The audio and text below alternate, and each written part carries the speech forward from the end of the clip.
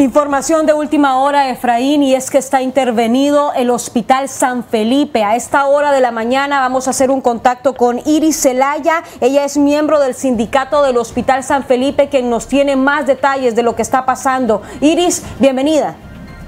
Sí, muy buenos días, muy buenos días, ¿verdad? El auditorio, gracias por la oportunidad, ¿verdad?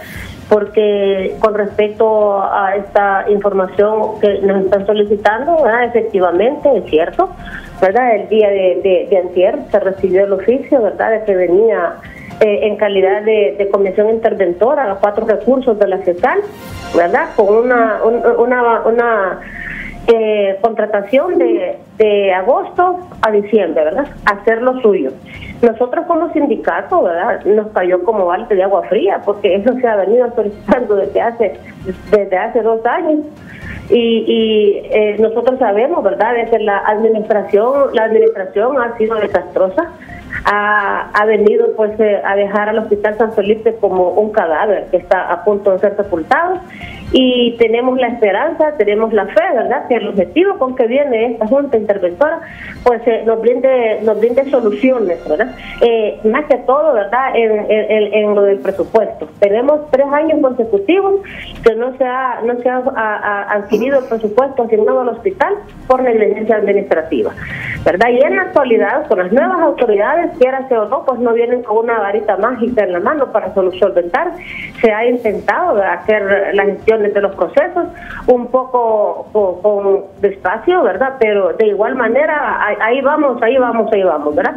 San Felipe ha sobrevivido, ¿verdad? Porque casi todos, cada uno de los recursos que aquí elabora ha dado la mía extra para que este hospital se mantenga, ¿verdad? Porque en los últimos días, en los últimos meses, en los últimos años, a pesar de todas las denuncias que nosotros como sindicatos efectuamos, eh, se ha estado sobreviviendo, ¿verdad? Con lo que se compra de emergencia, con fondos recuperados.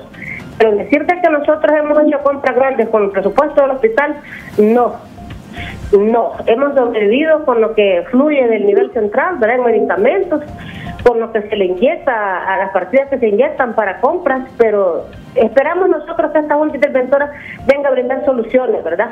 Venga a ser parte de la solución que necesitamos nosotros para sacar adelante el hospital. Iris Zelaya, una pregunta. ¿Por qué se interviene realmente el hospital y quién lo está interviniendo?